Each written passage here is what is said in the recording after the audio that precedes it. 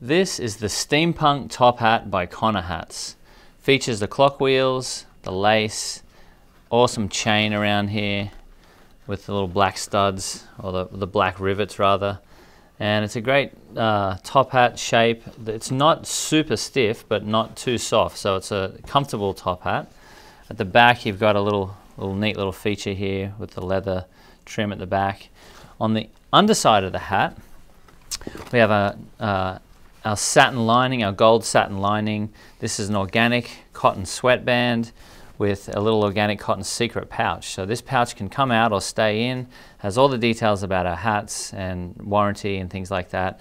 All of our labels are made from recycled plastic bottles and it's also all made from Australian wool. So this is the Steampunk Top Hat by Conner Hats.